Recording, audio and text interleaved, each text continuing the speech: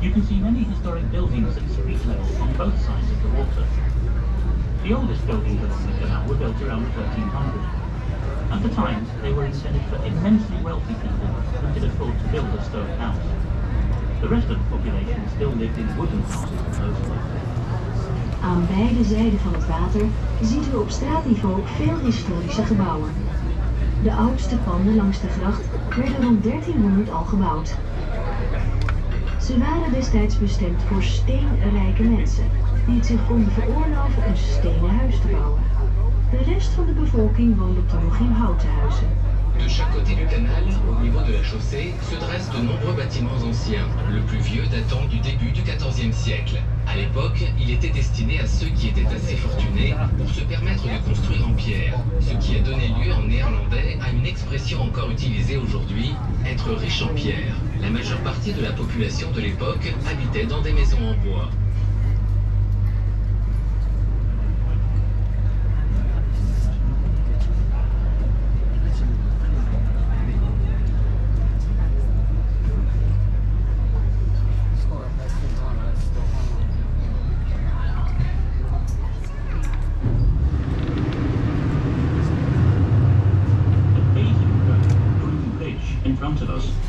After the makers who sold their products the brooms, in the Middle. De bezembrug voor ons is genoemd naar de bezemmakers die hier in de middeleeuwen hun producten, de bezems dus, verkochten. Devant nous, le Mézenbrogue, pont du balai. Il a été ainsi baptisé en raison des fabricants de balais qui y vendaient leurs produits au Moyen Âge.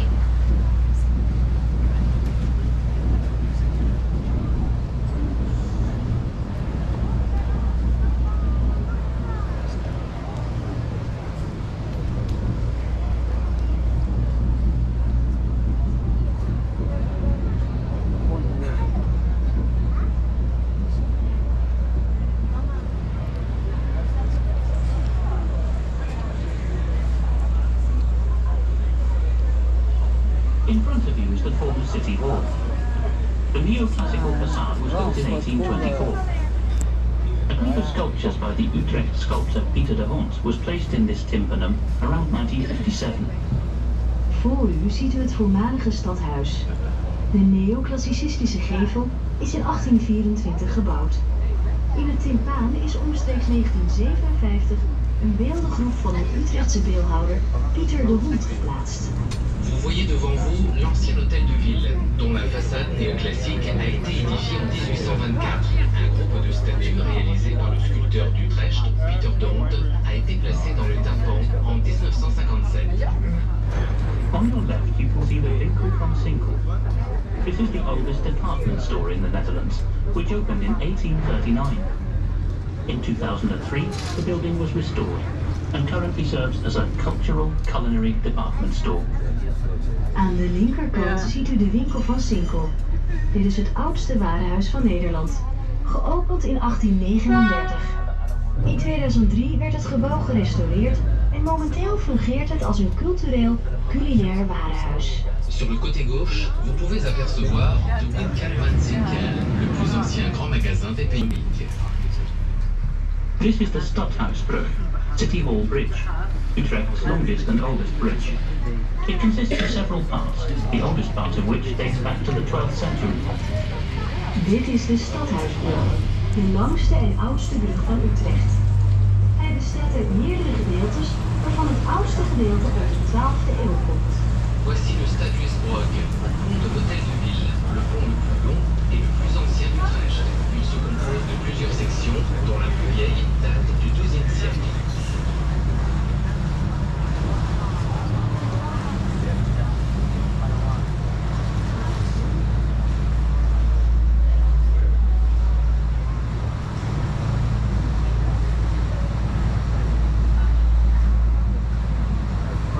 On your left, you have a beautiful view of the tallest church tower in the Netherlands, the Cathedral Tower.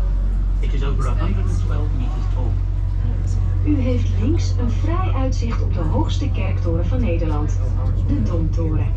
Hij is ruim 112 meter hoog.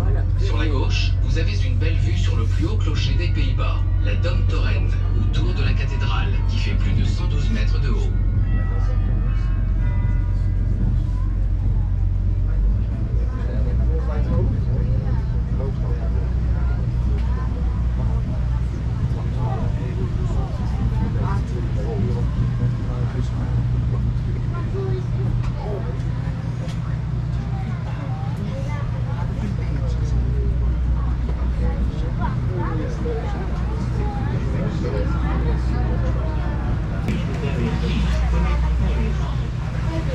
Langs de grachten zijn zo'n 450 beeldhouwwerken in de werfmuur gemetseld.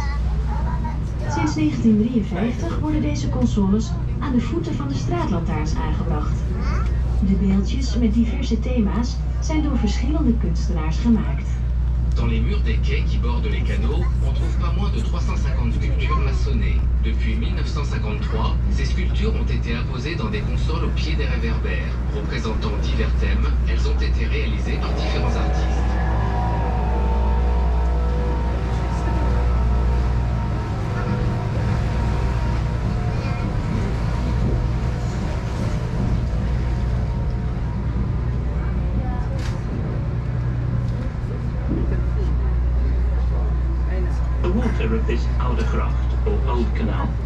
As a source of fire extinguishing water in the Middle Ages.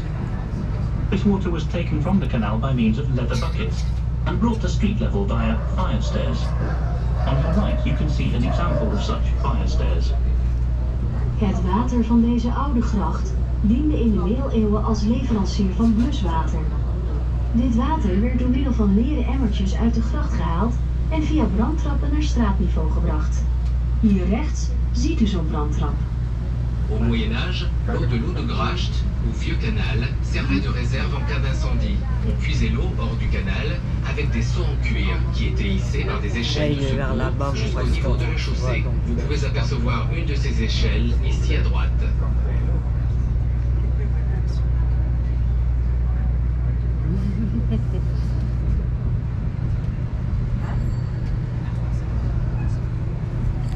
Utrecht was initially located on a river with a variable water level. By building locks, the Oudekracht was brought under control in 1275. The water level dropped and new embankments were constructed, the current wharfs. The adjacent cellars were built 600 to 800 years ago as storage spaces for many different types of goods. These were supplied by ship from different parts of Europe to be further traded from this location. Aanvankelijk lag Utrecht aan een rivier met een wisselend waterpeil. Door het bouwen van sluizen kreeg men in 1275 de oude gracht onder controle. Het waterpeil zakte en er werden nieuwe kaden aangelegd, de huidige werven. De aangrenzende kelders werden 600 tot 800 jaar geleden gebouwd als opslagruimte voor allerlei goederen. Deze werden per schip aangevoerd vanuit verschillende delen van Europa om van hieruit verder verhandeld te worden. À l'origine, Utrecht se trouvait au bord d'une rivière au niveau irrégulier. C'est la construction d'écluses en 1275 qui permit de réguler et d'abaisser le niveau dans l'eau de Gracht. C'est ainsi qu'il fut possible de construire de nouveaux quais, comme ceux que vous voyez actuellement. Les caves attenantes ont été construites il y a 6 à 8 siècles pour entreposer toutes sortes de marchandises qui étaient acheminées par bateau depuis différents endroits d'Europe We are sailing between the wharf and the wharf cellars. The low parts on the left and right are the wharfs, and the buildings on them are the wharf cellars.